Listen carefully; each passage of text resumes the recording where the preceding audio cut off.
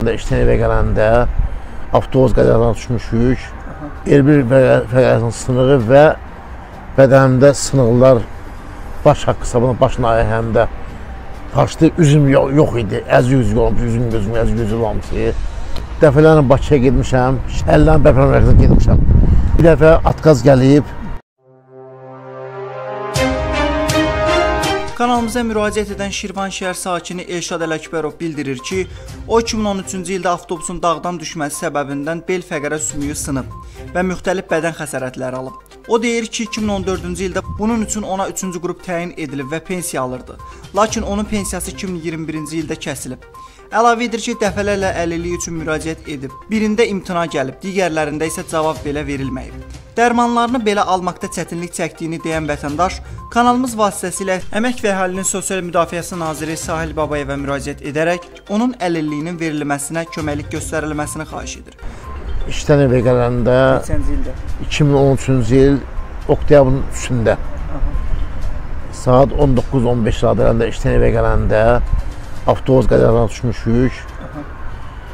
Elbir fəqəsin sınığı və bədənimdə sınıqlar baş haqqı sabına başına ayağımda Paştı üzüm yo yox idi. Əz yüz olmuş, üzüm gözüm əz yüz olmuş. 8 aydan sonra, paştı 1 ildən sonra da iyul ayında bizə pensiya kəsilib 2014-cü ildə.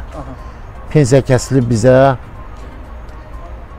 mən pensiya alırdım, alırdım. İldə də bir dəfə də gedib komissiyadan çıxırdıq. Hər il almışam.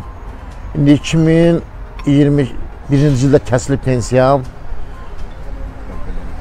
İyulun iyunun 6-sından Kamizə gəlib çıxmışıq. O üçün dəfələrlə Bakıya getmişəm. Əllərin bərpa mərkəzinə getmişəm. Orada istəkləmişəm. Bir dəfə Atqaz, Atqaz, Atqaz gəlib. Getmişəm ikinci dəstəyə istəkləmişəm. Qanun şəkildə içəridə girmişəm. Əyani müayinədən keçmiş. Əyalim yolunu keçmişəm. Dəfələrlə özüm burada Şirvan şəhərində xəstəxanada yatmışam, əllərin bərpa mərkəzində yatmışam. Ağrılarıma görə. Bir, bir dəfə imtihana gəlib. Ancaq qalanlar hamısına gedib həkimlə qanuni şəkildə çıxıb, həkimlə çıxmışam. İki dəfə əlavə çıxmışam, həkimlə çıxmışam. Nə deyilir? Heç, heç nə, heç bir şey Cavab cavab vermir. Heç bir cavab vermir. Adamlar bizdən pul çatdırıram. İndi hər şey bahadır. Heç bir də cavab dolanmıram. 5 baş, 6 baş ailə, 6 baş ailəyik. Heç bir dolanmıram qardaş.